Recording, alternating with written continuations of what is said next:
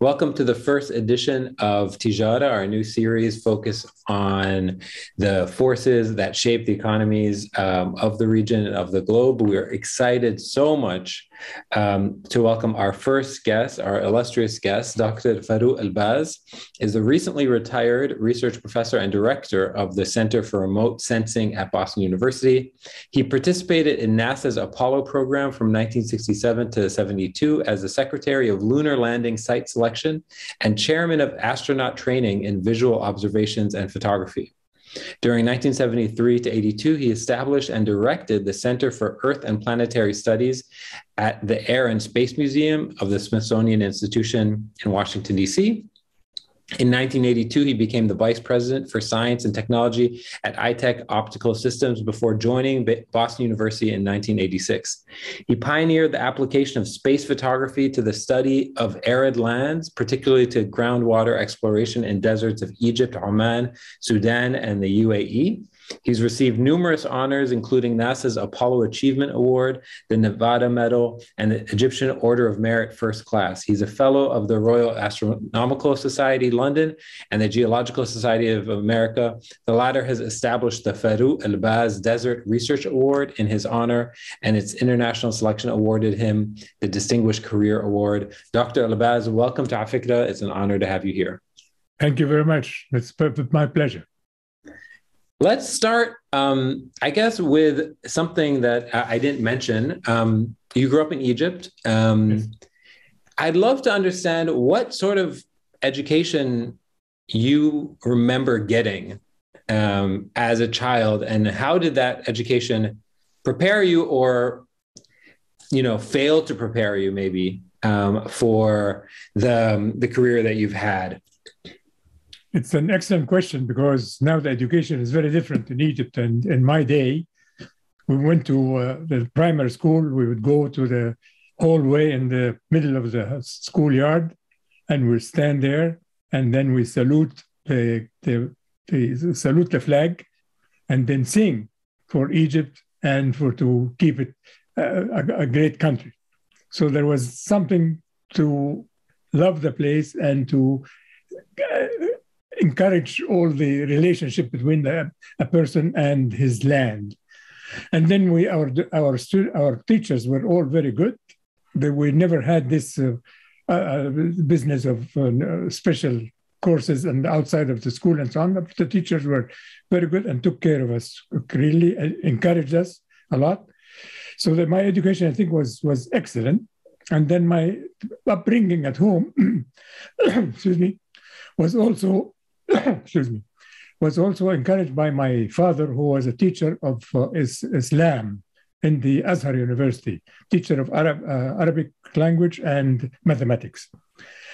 So he kind of instilled in us the uh, values of being decent and of being helpful to others, and also for teaching others. My father used to say, من يعلم فعليه أن يعلم الناس وإلا فلا نفع في علمه meaning the uh, those who know should teach others or else there is no benefit to their knowledge. So he encouraged us to acquire knowledge and encouraged us to convey that knowledge to others. I wonder this is sort of skipping ahead but maybe there's a good place to start. Um, you know the education system in the region uh, right now there's a little bit of a crisis maybe a, a, a big crisis. When do you think um, or how how did the uh, education system uh, we can focus on egypt if you'd like how did it uh, sort of take a wrong turn?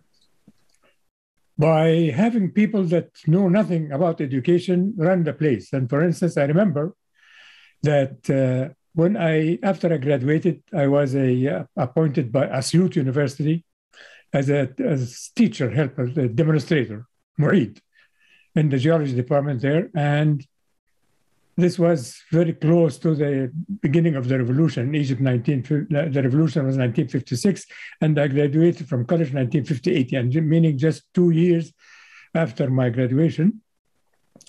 By, uh, after the revolution, and then I was there at the university teaching or helping as a, as a, as a lab technician, kind of. and uh, or it was called demonstrator. So we helped in the uh, cl- classrooms the afternoon, and the minister of higher education came to visit, and the minister of higher education was named Kamal al-Din Hussein, an army officer who never really went into college. He never entered a university in his life. He was taught in the army college, and he would come and ask questions. But you see that all of the professors and the president of the university and so on walk behind after him, behind him, and he stops. They all stop. They move. It was a terrible sight for me that here is a guy who knows nothing about university education. Ta, ta, ta.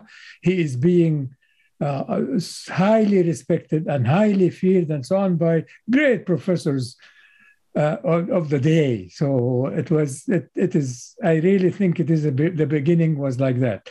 Yeah. People that had very little knowledge of education and the role of higher education took control of countries in Egypt, in Syria, and Libya, all of that, that, that resulted in a, in a demolition of the view of education and a thinning of the value of education. Yeah, we'll come back to this more uh, for sure later on. Um, I'd want. Can you tell me how a geologist from Egypt gets a job at NASA? What's the story there? Right, how did you get finding a- any job anywhere, and then applying to 120 potential jobs that were geology, geology uh, uh, in in mines and in all kinds of places. All the universities I knew, all the the colleges I knew and all of the, the uh, companies that uh, do uh, mining. And while I was doing these applications with my wife, I, I, I get the places and I find, get the fill in pay, papers, and then my wife would type the letter. And I was one day looking at one of the magazines that I get, it was called Physics Today. In one half of one page, I saw an ad that said, at NASA headquarters, they're looking for geologists to work on the geology of the moon. So I said, well, why not? So I wrote a letter and I gave it to my wife to type. It was late in the evening, it was like 11 p.m. We had two daughters and she had been working with the kids all day long and she was tired. And she said, and what is this for? I said, well, for people that would work on the geology of the moon. And she looked at me and he said, And what do you know about the moon? I said, Nothing, but I can learn. Just type the one more letter. She typed it while she was mad and she made three mistakes. I corrected them, but I, I sent that letter over. And that was the first letter they got a okay from them to say, come to Washington D.C., we will interview you. That was that was the beginning. I thought she was going to say, Shul, you can't get a job on Earth. You have to get a job on the moon. um, so, but there is, I'm trying to tease out a story that I think I heard correctly that there is some sort of diplomatic element to why they may have been interested in bringing you on board. Is that right? No, no, not no. from the beginning, not from the beginning. Using my connections and using my ability and so on, yes, plenty. Uh, later. But after I proved myself in the job, and after I proved myself that I can be a useful entity in this field, but so, not at the beginning. Yeah. So tell me about what that must have felt like. One, because you know, I'm not a I'm not a scientist. When I think of sort of NASA, I think of astrologists, uh, you know, astronomers, astro- uh, astronomers, excuse me, um, and fo- folks who think about space. I don't think of geologists. I also don't think of Egyptian Americans. So That's what was it? What was it like to be working as an Egyptian American in the 60s and 70s yeah. um, at a point where diplomatic ties between Egypt and the States are not exactly uh, peachy. Um, what was it like being, um, you know, in your position with your perspective in those rooms?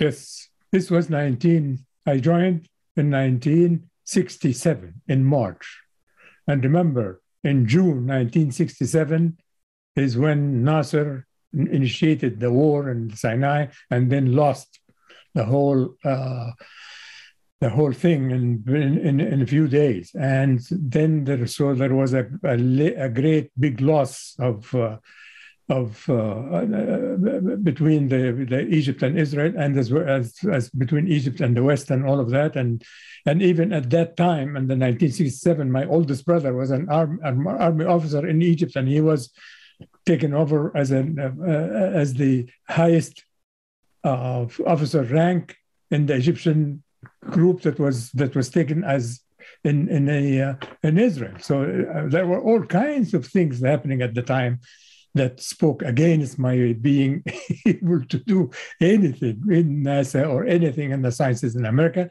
because America would, would had no relationship with Egypt at all. Egypt started the the, the war of 1967, uh, Israeli uh, activities were, were, were monumental in the US. And so there was no potential for anybody of my ilk to have to go anywhere. And I knew it. And I knew that I should, I should be, I should make myself absolutely essential to the job for any one of them to look at me half kindly. I didn't think yeah. that they would that would elevate me or something, but I thought I should work my ass off to make absolutely certain that I am most, I am the most effective person in the things that they want to do, or else they will not attack, look at me at all. And therefore, for, I did. For for somebody who like me who doesn't know much about um, geology, um, can you help explain to me and to our listeners um, how your training as a geologist was so essential to their their mission um, and how, how it intersects training, how the training as a scientist i think would be best. Okay so tell me about that. Because as a geologist came in excuse me as a geologist came in very late but as a scientist meaning you think you see what is the problem and how can we resolve this problem and how do we talk about it and how do we inform others so that they can benefit from the knowledge of science that was the beginning because geology didn't come until you really were in the within the program and talking about this, the special sites and what would they do and the rocks in that sites versus versus the rocks of the other side and so on, which came like three years later. So at the beginning, it was as a scientist, as an individual who looks at everything that they want to do and the things that we want to do very well, like we're going to plan for us, for us to take pictures, we, we should let them understand what they are looking at and how they can take pictures and explain to them why, what do we want to do with the pictures. All of that was really in, in science in general. It didn't come to real uh, geology until we came into the selection of landing sites and the training of the astronauts to take pictures by themselves from the spacecraft of the surface of the moon.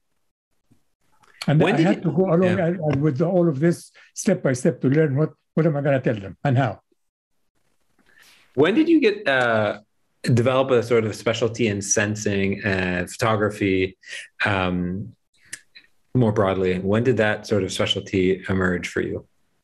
And uh, in the early phases, there was very little and all kinds of geologists were doing all kinds of things. And there were there was actually 65 geologists already working with nasa from 1962 that's several years before i before i arrived like, like five years before i actually arrived. Nasa had paid the geological survey to get to get uh, a whole bunch of geologists to work on lunar geology and the impact craters and their shape and where they are and all of this kind of thing. So i knew I had to catch up to be uh, to, to, be uh, one of them, and so I, I did. Look at I, I, the first thing they did when I arrived at NASA is to say where are the pictures of the moon that they took them before Apollo, and they found them, and they found there were there were 2,200 pictures of images of four by four, uh, yeah, 24 inches by 12 inches, so very large prints like this. And I thought, okay, my first job is to look at these things and, and see uh, what is in these things exactly. So I sat for three and a half months. I go to work at 8 a.m. and I leave my office at 6, looking at these pictures and making summaries of each and every one. I look at the picture and write the name and, and then summarize what I see in it and, and put it And then after I finished, I said, okay, now where would we go so that we will feel that we had sampled all the kinds of features on the surface of the moon. So I look at the features in my in my notes and then do this. If I found out that there's actually 16 places on the near side of the moon, that the side that we see. If we go to all of them, we can we would have sampled all the different kinds of rocks on the moon because geologically, if the features are different, maybe, maybe the composition of the rocks is different. And therefore, if we want to make sure that we sampled all the different kinds of the moon, here are 16 sites that we should visit them all. And I made that presentation to my fellow geologists. And from there on, I became the source. So I worked for three and a half months by myself, educating yeah. myself. And then I became the person that they would call me and say, You said such and such and such. What was that based on? I get to my, my notes and I tell whoever what geologist is talking, I, I tell him the story what he wants. And there and step by step, I became the source. Can you, as somebody who grew up in sort of the computer age, how did you categorize these 2200 photos i mean all you... by hand all in little pieces of paper i had three by five cards white wire cards and, and little ca- canisters and little cans and all by looking at the pictures myself like this, take a picture and, and look at it myself, and then make a summary of it on a three by five card. So that we had no computers. All of this stuff developed after. Yeah. So at, at the beginning, we had none of this. They, they, the, the computer in your hands now is more effective than the, a computer that was in the Apollo machine itself. Are you sometimes amazed when you think back to that? That truth that you just said that the computer that's on Apollo itself is less was less powerful than the than any of the little things that you had. Actually, yeah, hundred dollar phone that you can buy. less powerful than this. So, and the computation ability of this. so are you are you amazed when are you amazed that that that this even was possible like do you think back to these the apollo missions thinking like that's impossible. There's no way we pulled that off. That is right. How do we actually figure out exactly where the, the, the spacecraft was flying? We couldn't. Yeah. We didn't have enough to, uh, uh, radio stuff to actually figure out where the spacecraft is moving oh, around the moon, even before it landed. So where were we? So we had the astronauts actually look on the ground and see landforms and say, when you see the landform through the telescope, he's looking like this as he's moving over. And so he would say, mark on a specific landform, so we would know, aha, so the spirit spacecraft is right over that spot. So it was, it was all kinds of things that we didn't have at all. Amazing. And it, is, it certainly is amazing that all of that was done. But in, in the meantime, all of this was was being uh, was happening and we all knew that all of this is going is important and we should learn it and the astronauts were ready to learn and ready to contribute and all of the people from the, the companies different companies were with us with helping so there were there were like 450,000 people in the US doing little bits of things for this for the whole uh, effort of the space effort, not just the Apollo program, but the space effort. 450,000 yeah. people. So there were all kinds of people that and minds that contributed to actually making this happen and yeah. making it happen well. You know, as a you said space effort, and there it was a space race, right? And the U.S. was racing the Russians. Um, as somebody who was on the inside of that, on the inside of, in many ways, like the one of the Cold War fronts, how did it feel? Were were you all talking about that competition uh, between the U.S. and the Russians on a constant basis? Was this like on the bulletin board, beat the Russians? You better believe it, and the minds of every single one. Some guys, all four hundred thousand people were thinking the same thing. Everybody, everybody at once. And if they, if they did not, you, you reminded me. If we're working with something in, in Houston or doing this and that, and we said, well, I will have to rework that. He said, What do you mean you work? You don't have it now? No. So, so go do it and go do it now and go it well. You, I, I, oh, do you want the Ruskies to beat us? They call the Russians the Ruskies. You want the Ruskies to beat us, meaning everybody felt that he's got to do his work very well because yeah. he doesn't want to be the one person that's responsible for the for Russia to beat the US. yeah. When you when you look back at that now, do you look at that with a specific sense of cynicism, nostalgia? Um, like when like now it looks like we're entering a new Cold War, right?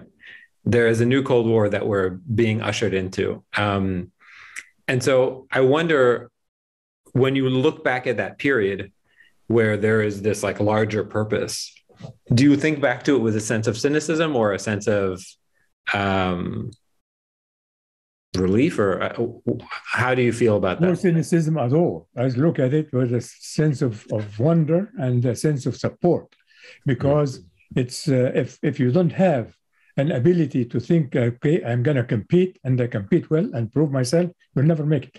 I, if I did not have that stamina within me as a young man to do well and to do better than anybody else, I am, I, I'm an Egyptian, I have an accent, but I don't know me, they can't pronounce my name, and therefore I have to be 10 times better than any American geologist they can, can encounter, or else why would they even look at me?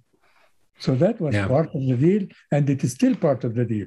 Uh, I've got to, everybody should be competing and everybody should work uh, hard to the to the tilt so that you can you can improve your improve surroundings and do something better for humanity. Sure.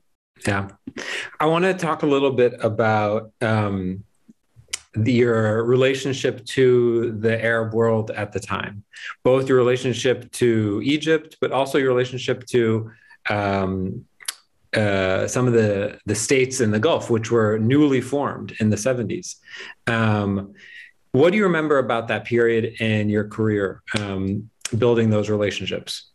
At the time, yeah. I had no idea. I was completely immersed in the Apollo program. I had no idea what the hell is happening anywhere in the Arab world or in the Gulf, or whether they knew about me or not. And most likely, they did not know about me at all. And uh, it was actually after the Apollo program finished completely in 1972. In 1973, Pres- President Nixon, uh, after the uh, oil embargo that uh, King Faisal of Saudi Arabia started, uh, President, uh, President Nixon sent memos to all the different the, uh, departments within the US government saying we have a problem with the Arab world and uh, because they held back the gasoline and there was a real terrible gas mess in the gasoline mess in the US.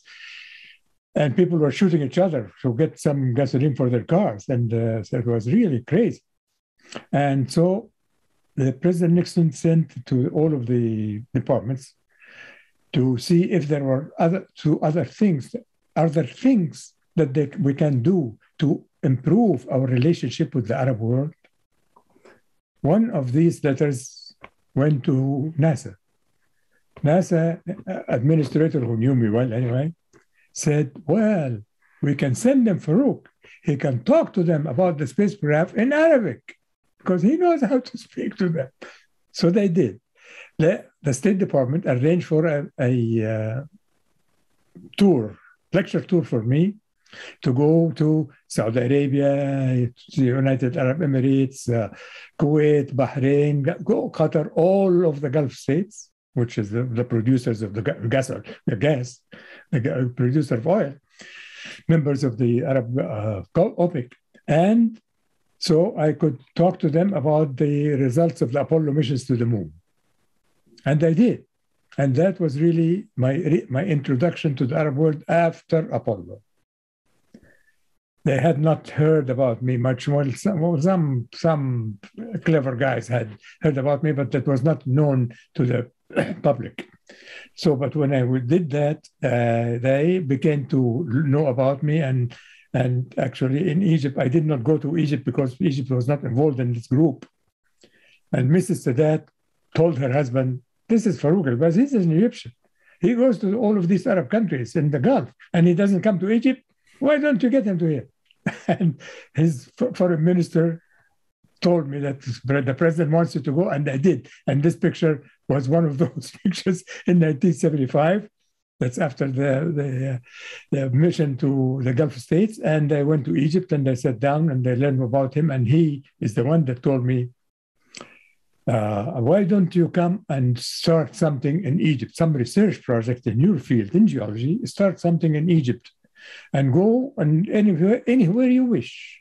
And when you have when you encounter problems, I know you will encounter problems. Come to me, come to me personally. I will resolve them for you. So this was an invitation from the president of Egypt to go and start something. So I started a research project in the desert of Egypt with my alma mater, Ain Shams University. And that yeah. was my introduction to the study of the deserts of the world. Before we get to the study of the deserts of the world, which I, I do want to get to, wasn't there a moment during that diplomatic row where some uh, astronaut in space speaks Arabic?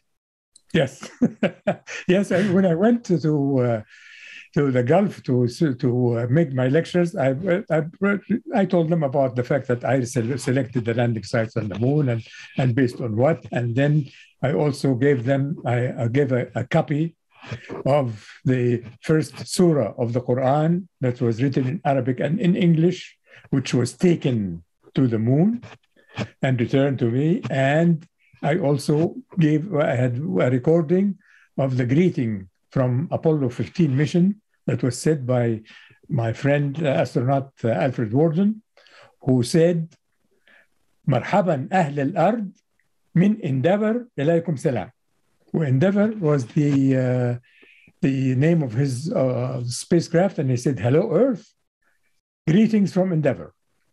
So I, I actually played that recording in Arabic in my lectures and showed them the copy of the Quran, the page of the Quran that went, and and then I added some of the names of the great Arab and Muslim uh, mm. astronomers who who worked on the that were decorated by naming them on the surface of the moon and so on. So Al-Biruni, Al-Battani, Al-Batigni, all kinds of fabulous Al-Khwarizmi Arab scientists that have names on the moon because mm-hmm. they were recognized by by Western uh, scientists as, as great men. Okay, before we move on to the deserts, I just want to ask you: Does it get old that you have been when you get asked? Do you does it ever get old for you uh, when people ask you about your role in science pop culture? you know, we have for those who can't see the screen who are just listening, I have this image of uh, Star Trek there is the first, uh, you know, there's some shuttle. Vehicle, uh, shuttle that's named after you in the 1988 season.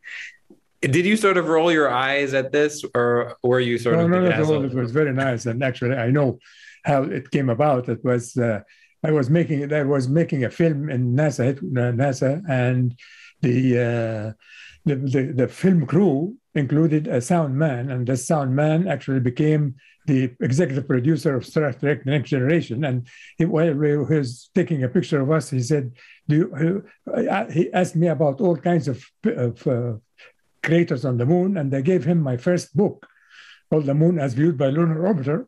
And I gave him a copy of that, and he loved it. And when he became the executive producer of this thing, he, he suggested to name this spacecraft after me. So funny. It, it was nice. Yeah. Yeah. Okay. So I want to talk a little bit about about the desert. Um, people in the desert need water. Um, and um, it seems as though, uh, given what you just said, you are in some ways extremely, maybe uniquely qualified um, to help think through that challenge. So, I have on the screen an article from the New York Times in 1993 that's describing a revelation that you came up with, a scientific discovery about a underground river in Kuwait. So, help explain to me what your research has been for the last few decades um, as it concerns the the water in Oman, Kuwait, UAE, and uh, the Arab world. Egypt also, yeah. Egypt. And, yeah. and some India and, and China, yeah. They're, they're all visits to the world. Actually, all this came about when we finished with the Apollo program and I moved to the Air and Space Museum to start the uh, Center for Earth and Planetary Studies in 1973. And during this year, the US and the Soviet Union made a deal to have something called the Apollo Soyuz mission. A, uh, an American uh, uh, satellite goes upstairs to in, in space, and the Russian one, right? They get together and they exchange what's there, meaning the first international uh, mission to of, of in space, joint U.S. Uh, and Russian mission called Apollo Soyuz. And uh, guys from NASA headquarters called me up. The man that uh, heads heads that mission called me up and he said, Farouk, and we need to add add a photography for this mission. You're the one that taught all of the Apollo astronauts how to take pictures with the moon. Why don't you uh, work a program for? I have two hundred fifty thousand dollars to give you to start now and and finish until and work on it until we finish with the Apollo Soyuz mission. So make a program for it. And it happens that the Apollo Soyuz mission was going to fly close to the equator, not very far up and north, and closer to the equator are all the deserts of the world. So much of the things that the astronauts would fly over were deserts. And the one that I had started looking at was the desert in Egypt because of the invitation of Dr. of President Sadat.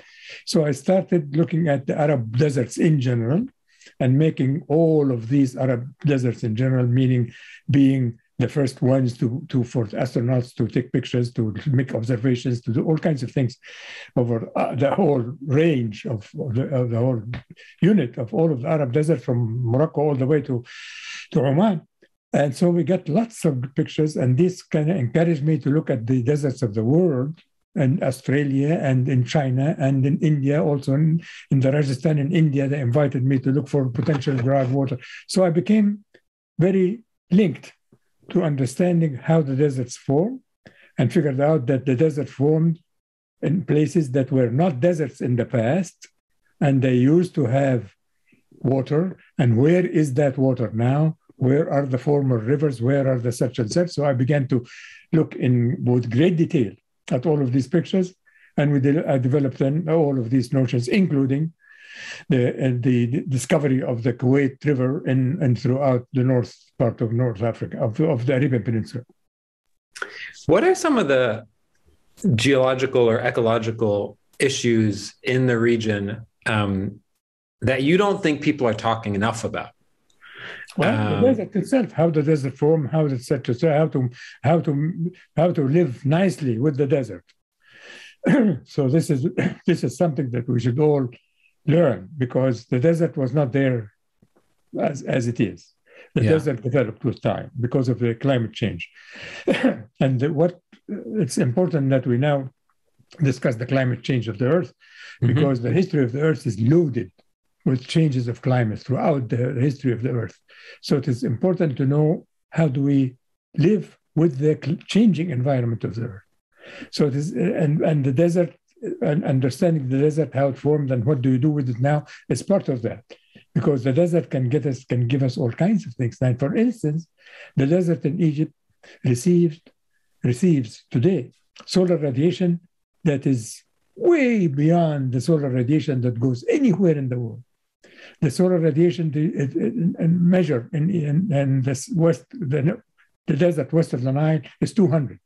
That means the solar radiation that, receive, that is get received in that area is capable of evaporating 200 times the amount of rainfall. It's called an aridity index.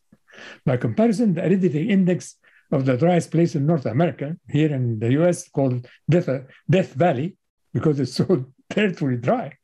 The number for that is seven, meaning in our places are such more dry and so on, but they were not dry before. They were, they had rain and there are all kinds of vegetation. Where is that rain and what happened to the vegetation is part of the stuff that we should learn and we're not learning. What, um, when you say that, uh, when you talk about before, are you talking about 100 years, 1,000 years, or a million years? Maybe uh, the desert of Egypt became as dry as it is only 6,000 years ago. Okay. Yeah. So, uh, yeah. Are there are there signs of like increased desertification happening um, in the region now? Not really. No, it's not okay. in not in a vast uh, place, but uh, but lessening of uh, rainfall is happening, and where do we get the rainfall of the past is important, because yeah. there, if if you say that there was a Kuwait River, then you should think where this Kuwait River passed, and water beneath the pathway of that river would be saturated in the rock and therefore we can drill here and here and here and get water. so it, it helps you this, find the water of the past. Yeah. I want to talk a little bit about your role as a as an advisor. Um, what are some of the major policy issues um, in Egypt and in the region, and uh, maybe uh, globally, that you are most concerned with uh, these days? Supporting the youth of the world, but especially in the Arab world, and, and, and particularly in Egypt. I, I keep on telling everybody that during the Apollo program, the one thing that made it po- completely possible is the fact that the all of the, uh, the, the vast majority of the people working on Apollo were very young, just graduates from college, because each and everyone has enough energy and they also each and everyone wants to prove himself and they can sit on that problem and connect, work on it as hard as they can and think about it and ask each other and fix it that's not happening now very few people support the young people i tell i tell people this, this, this the, the fact that during the apollo mission to the moon in 1960, july 1969 myself and three of the astronauts went through the uh, walkways in the Houston Center, the center that actually controls the mission completely. All the equipment in the mission and the astronauts and where they go and where they're not, when do you go to sleep and when I not, and everything about the mission is controlled by the Mission Control Center in Houston, Texas. And so we went through the corridors asking, taking the number of people that are working during the mission and their, uh, their age so that we can take an average. The average age of the people that were running Apollo 11 in real time was 26 years old. Amazing. Wow.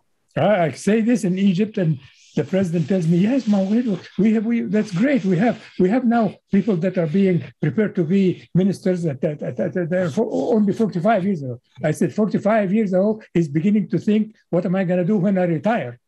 I'm talking about in the 20s because they have the knowledge, it's fresh in their minds, they have the energy, and they have not been been evaluated yet. And they want to show that they are good. They want to show that they are went to an engineering school and get a degree, and I am good. And therefore, I am going to work hard to show you that I am good. And you, you need that. You need that push from within without being without being said we wanted that to, work the, the mind to work and the energy of the mind to uh, uh, do the things that need to be done and do yeah. them very well because you don't want to be responsible for something bad happening. That's the 20s are there any are there any promising signs in the region that you think are worth uh, noticing uh, doubling down on? Is there anything that only uh, in the UAE. Only in the UAE, and only because of Sheikh Mohammed bin Rashid. I know him well. I worked with him a great deal, and uh, and I once when and that reminded me of what you said. I I once was telling him that I'm delighted that you go and when you go to visit these uh, uh, government agencies, you talk to the younger generation. This is very good because said that. He said, "How did you see that? How do how, how do you know that? You're in there." I said, "I see your picture in the paper, standing with a young kid and his desk is something mis- miserable looking small desk. He's not one of the big guys. He said I'm, I'm glad you noticed that because i really think supporting the youth is the only thing that can make the country great. So he is a man that one that actually saw that and and worked at it. None of the other leaders have ever done any of that. Yeah. What do you think about the the space program or the space program yeah. in, in the US? No, in, in the UAE. The ambition, That's their ambitions. It's, it's also run by very young people, men and women for that matter, and it is that is great. That's, I, I really think that this is this proves my point that the UAE is emphasizing the youth and so on because uh, uh, Sheikh Mohammed also started the, Sheikh Mohammed Center for Space Studies or something like that and in Dubai.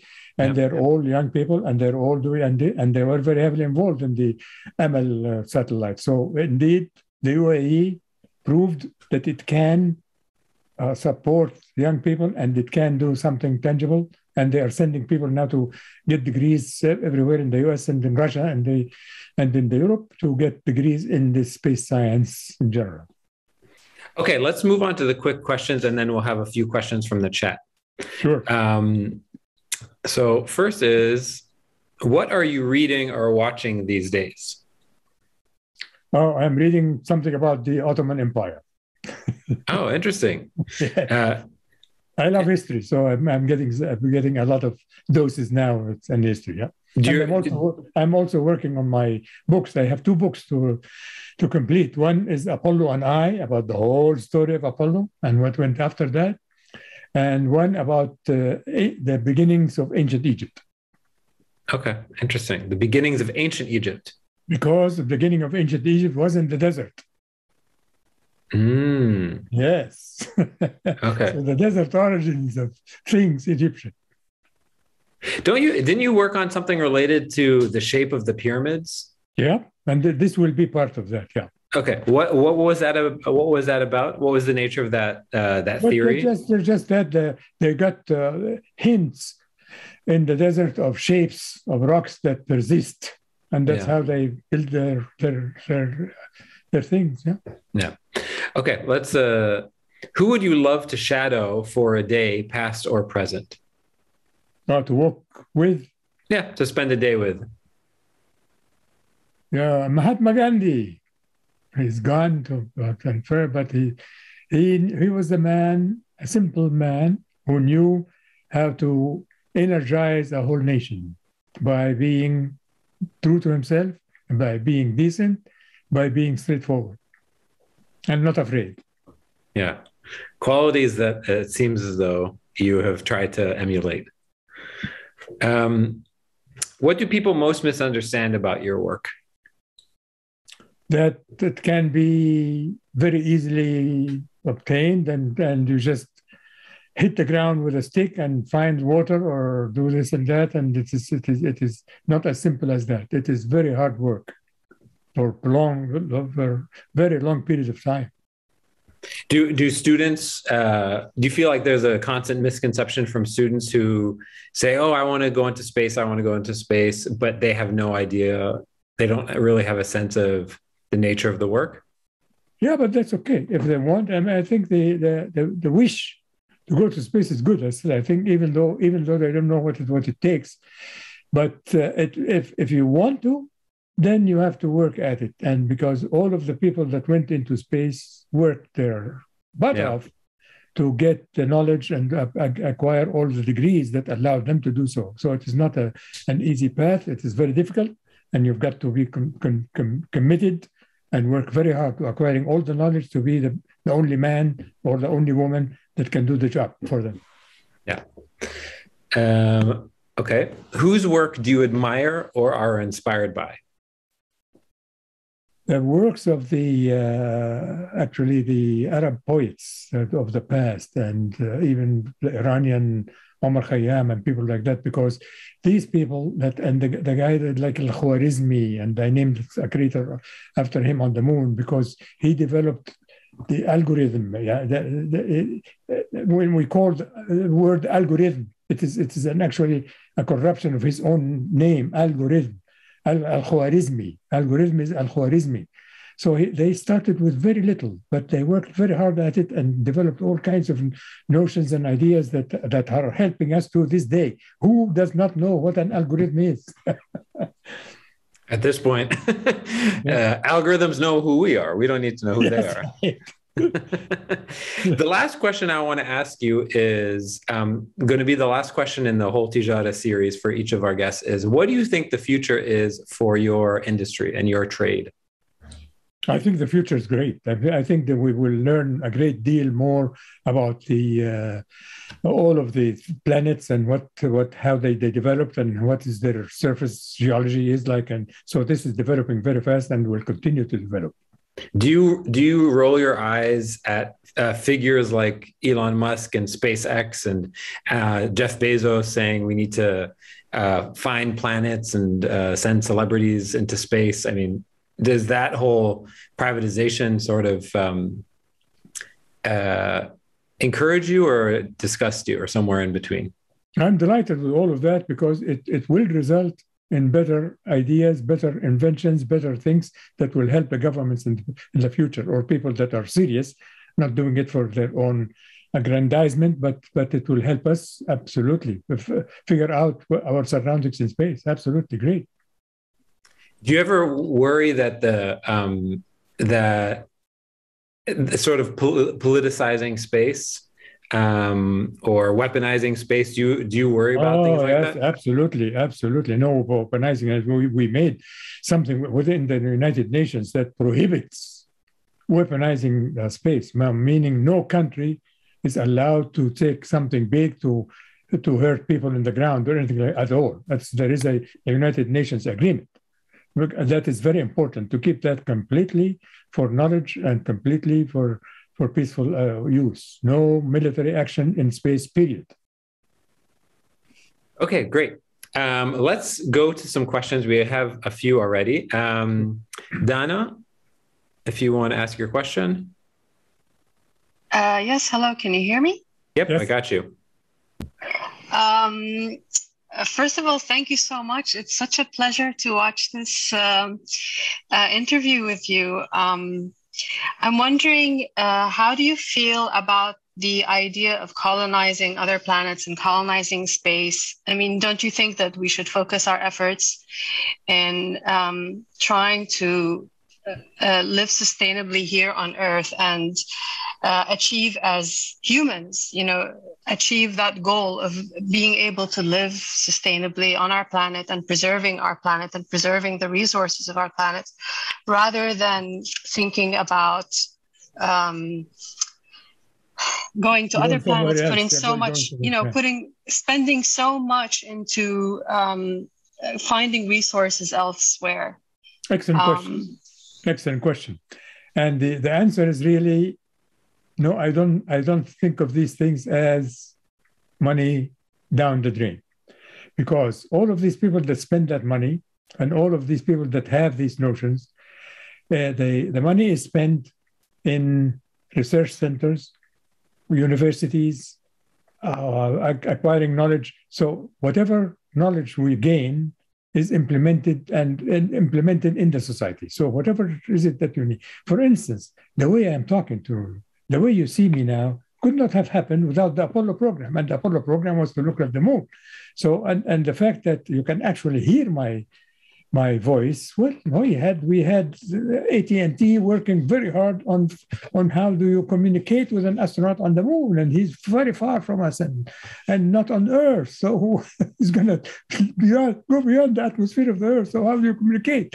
And that uh, AT&T actually made a seven year work on how to make this communication work. And now it is, I can talk to you in Egypt or in Australia. Or so immediate, immediate applications to the things that are done for space or for or whatever it is that benefits all of the people on earth. Like for instance, now you don't know, for instance, that all farmers in India, they now have a communication with their phone, can the farmer in India can communicate with an Indian satellite to get a picture of his own land at that time to see what how, how what is happening to his land right now, whether it needs more water or less water or anything else. That could not have been done. Any no government can actually do that for any for any farmer anywhere, and governments anywhere everywhere don't really give a damn about farmers.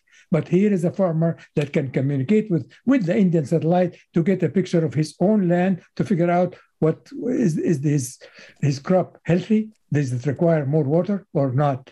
And he can do it without interference from the government or from anybody else. So these are the applications that come from developing the money to build an, an, an, an India made it, uh, develop, spend the money to develop a satellite to take pictures of Amazing. the Indian land. And okay, we have another question from UC. UC. Hi. Um, hey. Thanks so much for this. This has been so exciting. I've been smiling from ear to ear for the last hour like a nerd. um, and I have a kind of corny question, but I feel like because it's Ramadan, it feels right. Um, and I was wondering how how or if Islam influenced your like perspective or career as a cosmic geologist. And um, if you ever had any desire to study the black stone at the Kaaba, or maybe you did, I don't know. I did. Okay. I did. did find anything cool? I visited there and I looked at it and and I actually used this this visit to get a, a piece of moon rock that the astronauts could that uh, that that people that astronauts brought from the moon that people can touch at the National Air and Space Museum in Washington D.C. Well, I was working for the museum. I told them we need we need to make a in the Apollo exhibit we will have to have a piece of rock that people touch. They told me, Are you crazy? Yeah, they, they, will ruin it and they will come and tell me every few years, you tell me, give me another rock. And that, and you know, these rocks are only for studies. I said, Well, there is one rock in that I saw and I touched. Said two million people touch it every year and has been touched from the, the seventh century, and it's still there, but, but touched by human hands. And they agreed. They said, they have just asked me, the committee that would have been to say yes or no, they asked me, and how is it protected?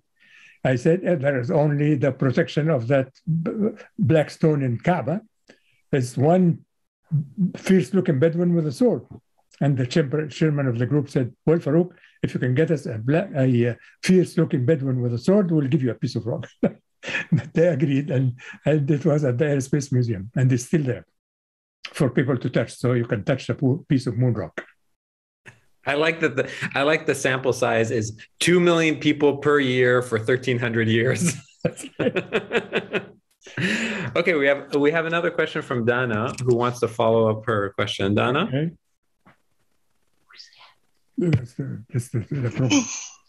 uh, hi again. Sorry. Um, well, basically, um, my issue is not with the scientific advancement. Um, I support it 100%, and I acknowledge the important contributions that have been made for our benefit. My issue is with the dominant wasteful attitudes and actions that affect those who are most vulnerable and who continue to fall into, um, you know, a vicious cycle, um, uh, and who probably, you know, they continue to be their environments continue to be under threat. Uh, their livelihood uh, continues to be un, um, under threat. And you know they may never there's a portion of uh, the population who would never be able to benefit from resources that are explored elsewhere in space. Um, and so uh, my worry is that you know if we if we have this attitude that you know it doesn't matter if we utilize our resources on earth there's always other planets that we can um, take advantage of and uh, um, can harvest if you want for for resources then nothing will you know not much will happen to improve what's going on right now on earth. I, I think my issue is this, this, just general attitude of of just continually um, you know taking advantage of resources um, you know irresponsibly let, and, me, let, me, um, let me say that I, actually agree with you. And but but I also say that there is absolutely no way that we think we can have resources from out there to that would help us. No way. With the resources of the earth is, is, is, is what we have, and the resources out there is for potential use there if there is need. So I don't really think that anybody thinks now that we can use resources on the moon. For instance, we get, we have rocks on the moon that have like titanium. The basalt on the moon has a 11% titanium, and if the basalt on Earth has four to seven percent titanium, it is a good ore. But on the moon, it's 11%. So you think that it would be uh, good to go get basalt from the moon for the titanium. Uh, nobody ever thinks about that. So I don't really think that that it is seriously being thought about that we can use resources in outer space, the way out there, and no one, no one has proved or have, have has shown us that it is possible anytime at all. Well, Dr. El-Baz, thank you so much uh, for joining us, for sharing your time and your perspective with us. This conversation is going to go up online on YouTube and on our podcast tomorrow. So please share it with anyone you think would be interested. And it's really, really a pleasure to be able to learn from you and take so much time, so much of your time. Thank you. Good luck, and to, thanks to all your uh, those who came joined us. Okay, everybody, take a, a nice day or evening wherever you are, and we will see you soon.